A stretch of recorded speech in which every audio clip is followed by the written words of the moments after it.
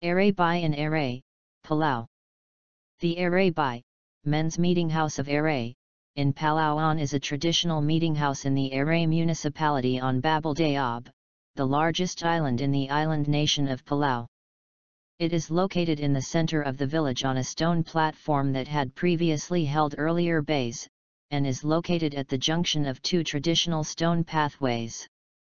The building is 68 by 20 feet, rising to a height of 40 feet at its peak. Its facade and interior beams are decorated with depictions of Palauan legends. It was built around 1890, and underwent a major restoration in the 1970s. The building and site have long been the spiritual and civic centerpiece of the community.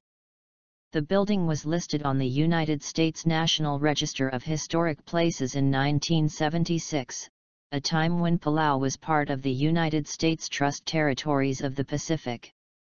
Like us and join us at Xtreme Collections for more fun and knowledge.